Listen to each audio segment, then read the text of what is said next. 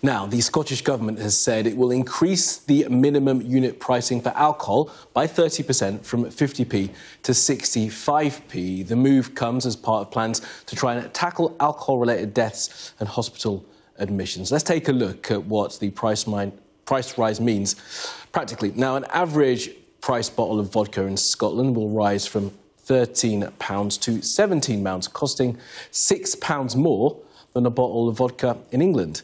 Meanwhile, a bottle of super strength cider is going to cost £15. That's £11.50 more than it would in England. A bottle of scotch will cost a minimum of £18.20. That's up from £14.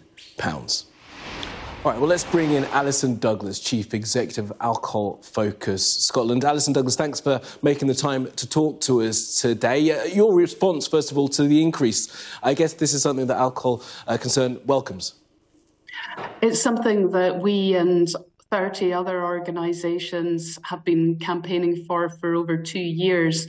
The minimum unit price was supposed to be reviewed after two years of operation.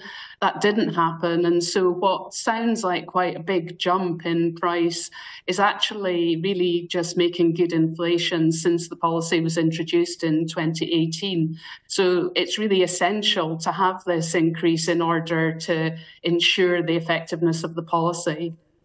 And Alison, why is it, though, that with this been being in place since 2018, we are still seeing alcohol death, alcohol-related deaths in Scotland increasing? The first full year of operation saw a 10% reduction in deaths.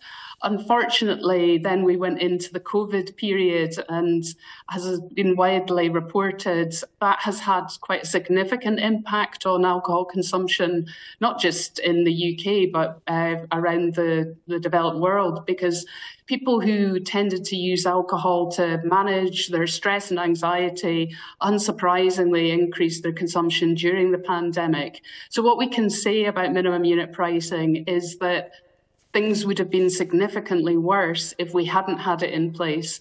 Um, just to unpack that, in Scotland, we saw a 22% increase in deaths over two years. Um, and in England, we saw a 30% increase. And what the independent evaluation from Scotland's national uh, public health body found was that the only plausible explanation for that difference was minimum unit pricing. Yeah, and uh, uh, when Shona Robison was announcing it earlier, she did say that uh, minimum unit pricing has saved on average 156 lives a year. So uh, the evidence is there that it, it is a it is effective. Now, I, I wonder uh, what you think about the profits that some retailers have been uh, making as a result of the difference in the minimum pricing and the amount um, that they can buy alcohol from the wholesale. Uh, there are some that are calling for a tax on that profit. Do you think that would be a good idea to then put that money raised back into healthcare prevention measures?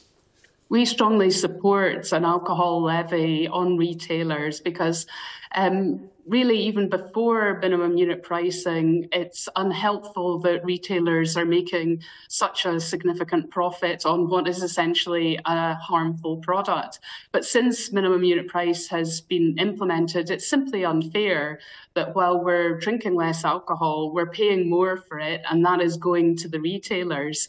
So we strongly support a levy that could be used to generate, to bring that, that additional revenue into the public purse and to use it to tackle um, alcohol treatment, um, support for people who are in recovery, and also wider prevention measures. Yeah, and, and of course you're calling for that levy. That levy is not in place yet, but perhaps the, the pressure will build on the government to bring it in. And you kind of brought me on to my next question. Alongside the increase in the price, what other measures uh, are coming in place to try and reduce, you know, the addiction to, to alcohol that people, that people have? Minimum unit price has to be part of the package of measures that we um, that we take to address the kind of tide of alcohol harm that we have. Um, but it can't be the sole measure that we, we take, as you say. So we need to be doing all of the things that the evidence base tells us work. And that means tackling how alcohol is heavily promoted and marketed, how readily available it is, and also ensuring that services are there for people who have a problem. Uh, but are those services there? That's that's kind of my point. You know, we've got this focus on increasing uh, minimum unit pricing, but I wonder what else is being done in the community to try and reach those people who are in the depths of their addictions. Because you know, of course, the argument is that if you increase the price on booze, people who are addicted to it are going to pay for it anyway, and then there may well be deprivations to their life and their family life as a result because they're spending money on that when they should be spending on other things the minimum unit price isn't really about tackling people who have an addiction or people who are dependent on alcohol. If you're dependent on alcohol, you wake up in the morning physically and psychologically craving alcohol. And clearly, price isn't going to be the, the most significant uh, issue for you in that situation. What you really need is intensive personal support to help you address your alcohol problem and to sustain your recovery. So, this minimum unit price is not the answer for alcohol dependent people. But let's remember there's only about 50,000 people, far too many, but still a, a, relatively small number, 1% of the Scottish population who are dependent. This policy is really about the over 1 million of us who are drinking above the Chief Medical Officer's low risk guidelines. And that's where it's having its effect, and it's having effect in uh, households who are drinking more alcohol but short of dependence. So the fact that we're seeing these really significant reductions in deaths, you mentioned the alcohol specific deaths um, which are predominantly liver disease. But we've also got nearly the same number of lives saved in terms of chronic diseases, things like cancer and cardiovascular disease, which alcohol plays a significant part in. So the overall, this is a really effective policy. It is a life-saving policy. Okay, Alison Douglas uh, from Alcohol Focus Scotland.